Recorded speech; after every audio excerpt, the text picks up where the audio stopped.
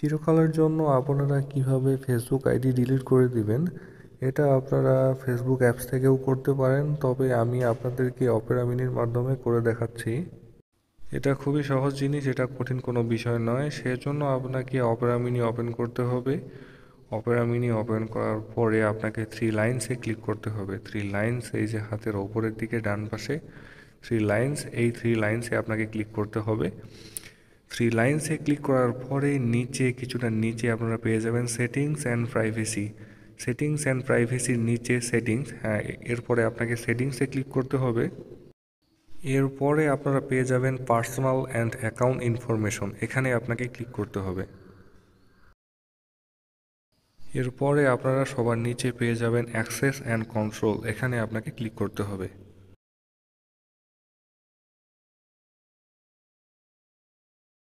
এরপরে আপনারা এখানে দেখতে পারতেছেন, আপনি আপনাদের অ্যাকাউন্টটি ডিঅ্যাক্টিভেট কিংবা চিরতরে মুছেও ফেলতে পারবেন।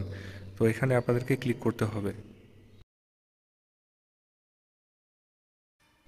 এরপরে আপনারা ওপরে দেখতে পারতেছেন ডিঅ্যাক্টিভেট অ্যাকাউন্ট আর নিচে দেখতে পাচ্ছেন ডিলিট অ্যাকাউন্ট যেহেতু আমরা এটা চিরকালের জন্য মুছে ফেলতে চাচ্ছি, তো আমরা এখানে ডিলিট অ্যাকাউন্টে প্রেস করব। আর বন্ধুরা, এই ছোট্ট ভিডিওটি যদি আপনাদের একটুও কাজে লেগে থাকে কিংবা নতুন কিছু জানতে পারতেছেন, তো প্লিজ একটি লাইক করে দিবেন আর চ্যানেলটি অবশ্যই সাবস্ক্রাইব করে দিবেন। এরপরে আপনাকে কন্টিনিউয়ে চাপতে হবে। এরপরে কন্টিনিউ করতে হবে। তো ভিডিওগুলি ছোটোখাটো হোক, তো ছোটোখাটো ভিডিও হলেও অনেক সময় বড় কোনো ধরনের কাজে লেগে যেতে পারে। তো এরপরে আপনার কাছে বিভিন্ন কিছু জানতে চাওয়া হবে যে কেন আপনি আপনার অ্যাকাউন্টটি ডিলিট করতে চাচ্ছেন। তো এত কিছু করার দরকার নাই কন্টিনিউ টু অ্যাকাউন্ট ডিলিশন এখানে চেপে দিবেন। এরপরে ফেসবুক আপনার কাছে আপনার অ্যাকাউন্টের পিকচার্স কিছু ডেটা কিছু আপনি চাইলে সেভ করে রাখতে পারবেন। এইরকম কিছু অপশন তারা আপনার সামনে শো করবে। আর এত কিছু না করতে চাইলে ডিলিট অ্যাকাউন্ট সবার নিচে পেয়ে যাবেন। ডিলিট অ্যাকাউন্ট এখানে আপনাকে ক্লিক করতে হবে। এরপরে আপনার কাছে ফেসবুকের পাসওয়ার্ডটি চাওয়া হবে অ্যাকাউন্টটি ডিলিট করার জন্য। আপনারা মন চাইলেই অন্য কারও অ্যাকাউন্ট ডিলিট করতে পারবেন না, সেজন্য আপনার পাসওয়ার্ডটি জানা থাকা খুবই জরুরি। আর এখানে আপনাকে পাসওয়ার্ডটা দেওয়ার পরে কন্টিনিউ করতে হবে।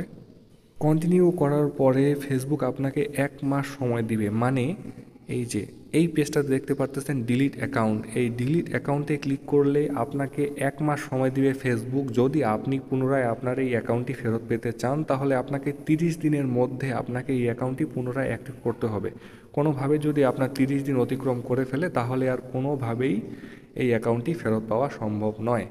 তো বন্ধুরা, ভিডিওটি যদি আপনাদেরকে একটু ভালো লেগে থাকে, তো প্লিজ একটি লাইক করে দিবেন আর চ্যানেলটি অবশ্যই সাবস্ক্রাইব করে দিবেন। আর এতক্ষণ থেকে আমাদের সাথে থাকার জন্য ধন্যবাদ।